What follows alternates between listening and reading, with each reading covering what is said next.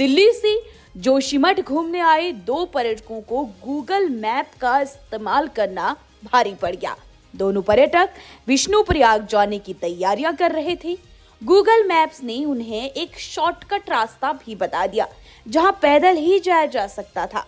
अब मैप ने जो रास्ता बताया, उसी दिशा में ये पर्यटक चलते रहे। लेकिन वहाँ जाकर पता चला कि पुल ही टूटा हुआ है और दूसरी पार जाने का कोई रास्ता ही नहीं है। जब जाने का प्रयास किया तो दोनों ही पर्यटक पहाड़ से गिर गए और फिर कई घंटों बाद उनका रेस्क्यू हुआ।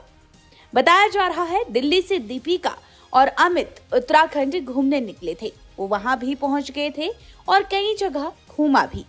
दोनों का प्लान बना कि जोशीमठ के विष्णु प्रयाग जाया जाएगा।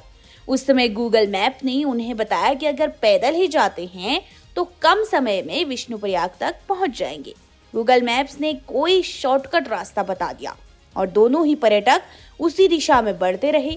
उन्हें इस बात का एहसास ही नहीं था कि विष्णु प्रयाग वाला पुल तो दो साल पहले ही खराब मौसम में टूटा है।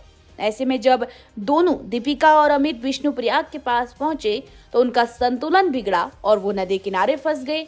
इसके बाद करीब दोपहर साढ़े तीन बजे के बाद स्थानीय लोगों को इस घटना के बारे में पता चला। उन्होंने तुरंत एनडीआरएफ और पुलिस को सूचना दी। उस सूचना के आधार पर रेस्क्यू ऑपरेशन हुआ और करीब तीन घंटे बाद दोनों ही पर्यटकों को सुरक्षित बाहर निकाला गया। यहाँ ये समझना बेहद ज़रूरी है, इस मौसम में नदी में उतरकर किसी का भी रेस्क्यू करना मुश्किल काम है। पानी बर्फ़ से ज़्यादा ठंडा रहता है।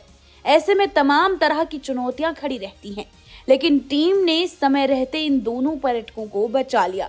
फिर स्थानीय लोगों ने भी उनकी पूरी मदद की है। तीन बजे की घटना है जो कि पता चला कि ये शॉर्टकट के चक्कर में यहाँ पे बहुत सारे पर्यटक आते हैं और ये गूगल के हिसाब से चल रहे हैं कि बोल के यहाँ से शॉर्टकट है ये विष्णु प्रयाग के लिए और जो कि यहाँ पे ये पुल टूट चुका था इसीलिए शॉर्टकट के चक्कर में यहाँ पे धोली गंगा में ये दोनों फंस गए थे ये। बाद में क्या किया आपने? अब बाद में जो है मैंने एसडीआरएफ को फ़ोन किया है एसडीआरएफ और न्यूज़ चैनल वाले यहाँ पहुँचे।